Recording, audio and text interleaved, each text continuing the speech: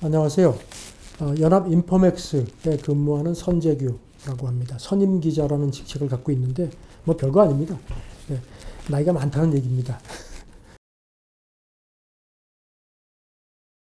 어, 저는 에, 클린턴 행정부 때인 90년대 중반에 워싱턴에서 3년간 근무를 했습니다. 그때 그 워싱턴이 사실은 세계 정치의 중심지라고 하는데 제가 자세히 들여다보니까 세계 경제를 움직이는 룰을 거기서 만들더라고요. 그래서 아, 국제 경제라는 게 참 중요하구나 하는 걸 그때 느꼈고 그리고 이제 돌아와서 이제 그때만 해도 사실 한국 언론의 국제 경제라는 게 상당히 좀 생소했는데요. 그쪽으로 일을 시작을 했고 지금은 이제 국제 경제부라는 데도 많이 생겼습니다. 어, 오늘이 2020년 7월 1일입니다. 이제 미국 대통령 선거가 이제 4개월 정도밖에 안 남았습니다. 아시다시피 지금 뭐 전 세계가 코로나 때문에 난리죠. 이 코로나 때문에 지금 미국 대통령 선거판도 뭐 완전히 작년 말하고 뒤집어졌습니다. 일단 월가에서 보는 거는 트럼프 그 재선 확률이 많이 떨어졌습니다. 시티그룹이 작년 그러니까 작년 12월에 그 펀드 매니저를 대상으로 조사를 한 게 있습니다. 그랬는데 그 당시에 한 트럼프 그 당선 확률이 한 70%가 나왔는데요. 최근에 다시 조사를 했습니다. 그랬더니 그 바이든 당선 확률이 62% 완전히 뒤집어졌습니다. 뒤집어졌고요. 아, 지금 뭐 분위기들은 물론 이제 뚜껑을 열어봐야 아는 거지만 지금 월가 쪽에서 보는 분위기는 아, 백악관은 이미 트럼프 물 건너간 것 같다 트럼프한테는 이제 상원 상원이 중요한 게 이제 상원에서 이제 어떤 그 대외 정책이라든가 이런 거 이제 미국은 이제 하원이 있고 상원이 있고 하원이 어떤 이제 돈 만지는 문제 같은 것들을 이런 걸 이제 주로 조금 뭐랄까 조금 작은 살림을 하면은 상원은 큰 살림, 큰 방향들을 정하기 때문에 상원을 사실 장악하는 게 굉장히 중요하거든요. 지금 트럼프가 그나마 큰 소리 뻥뻥 치는 게 상원을 공화당이 갖고 있기 때문에 믿는 구석이 있는 겁니다. 그런데 만약에 트럼프가 설사 재선이 돼도 상원을 뺏기면은 그야말로 이제 완전 이제 두 손 묶이는 겁니다. 그런데 지금 어, 오늘 최근 분석을 보면은 상원도 민주당이 가져갈 가능성이 높은 게 아니냐는 쪽으로 나오고 있기 때문에 이제 이것도 지금 근데 이제 한마디로 예측 불허입니다. 왜냐하면 기억하시겠지만 2016년 선거 때 트럼프 될 거라고 얘기한 사람들 거의 없습니다. 저도 그때 무슨 뭐 어디다가 이렇게 뭐 글을 썼는데요. 아주 개망신당했습니다. 월가에서 예측했던 이 대통령 당선 확률 확률들이 실제 선거에서 좀 많이 현실화되는 그런 분위기였나요?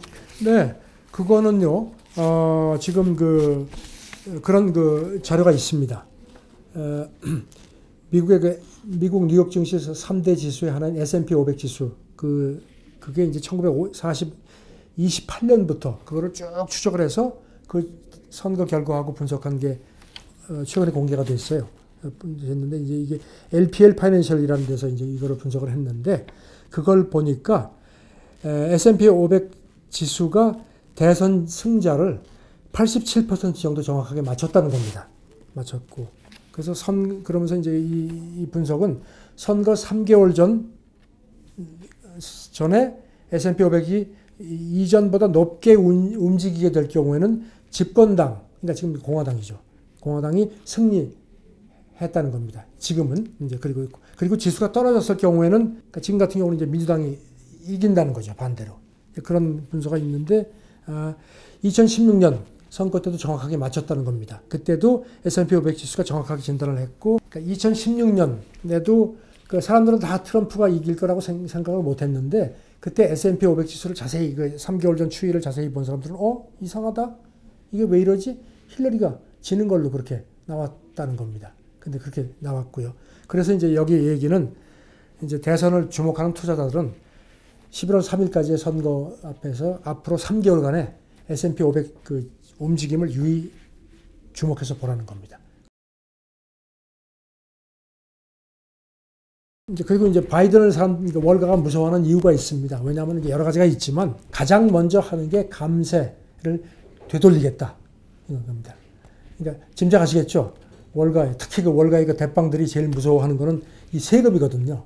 지금 트럼프가 뭐 법인세라든가 이런 거 뭐 여러 가지를 이 월가 CEO들, 월가 그 투자자들한테 유리하게 다 돌려놓고 자기 스스로도 지금 월가 투자자이기 때문에 그런 겁니다. 그런데 이제 바이든이 내가 되면은 이것부터 손질하겠다고 하는데 그리고 이제 더 무서운 거는 이제 그 재무장관이 누가 될 것이냐는 건데 여러 가지 얘기들이 나오지만 예, 지금 월가 쪽에서 이제 걱정하기 시작하는 게 바이든이 대통령이 되면 이제 바이든은 사실 경제에 대해서 그렇게 많은 걸 아는 사람이 아니기 때문에 이제 정권을 줄 수 있는 재무장관을 쓸 거다. 그런데 그 1순위로 지금 거론되는 게 엘리자베스 워런 상원의원입니다.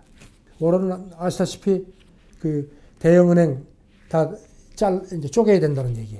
은행은 은행 일만 해라 이겁니다.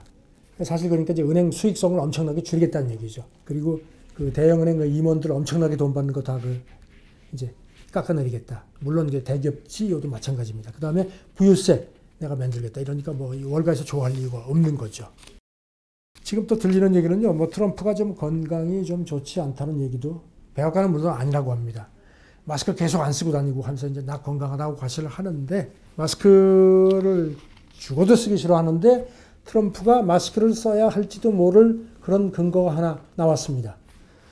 어, 골드만삭스 월가의 그 투자은행인데 골드만삭스가 보고서를 냈는데 보고서 요지는 자기들이 쭉 이제 마스크 쓰는 거하고 이제 경제 재개하고 여러 가지를 쭉 분석을 해보니까 미국 경제에서 마스크를 이제 열심히 쓰면은 사람들이 미국 경제가 통, 그 봉, 봉쇄를 좀 이렇게 덜 할 수 있고 그렇게 되면은 성장, 성장의 한 5% 정, 5% 정도가 감소되는 걸 막을 수 있, 다는 걸로 우리가 분석을 했다. 그러니까 5% 성장률이 5%포인트가 감소가 아니고 미국 성장에서 5% 정도가 줄어들 수 있는 거를 마스크를 써주면은 그거를 안 해도 된다는 거죠. 그런 보고서가 나왔는데 이게 골드만삭스 보고서니까 백악관이 이걸 분명히 이제 아마 트럼프 책상 앞에 놔뒀을 텐데 이 보고서 나온 지 한 이틀이 됐거든요. 근데 아직까지 트럼프가 마스크 쓰는 걸 제가 못 봤는데 사실 트럼프 입장에서는 지금 경제 회복이 그거 이게 마지막 자기한테 남아 있는 카드인데 이런 이런 거라면 또 어느 날 갑자기 마스크 짠 하고서 나 마스크 쓴다 여러분도 쓰십시오 하고 나올지 모르는데 지금 7월 4일이 이제 그 미국 그 독립기념일 이제 엄청난 뭐 파티가 있고 막 그러는데 젊은 애들이 지금 마스크 안 쓰고 뭐 또 그날 난리가 날 거거든요. 되면 이제 그 다음에 또 이제 그야말로 재확산인데 지금 가뜩이나 미국 남쪽은 심각한데 그래서 트럼프가 과연 마스크를 쓸지 안 쓸지 이것도 대선 전망만큼이나 지금 제가 보기에는 상당히 불투명한데 궁금합니다. 여러 가지로. 저는 미국 대통령 선거 이건 뭐 코로나 눈에도 보이지 않는 코로나가 정말 이 미국 대, 대통령 선거뿐만 아니라 전 세계 모든 것을 다 지금 뒤집어 놓고 있는 와중입니다. 저는 많은 것이 코로나로 인해서 뒤바뀌고 있는 그런 오늘입니다. 감사합니다.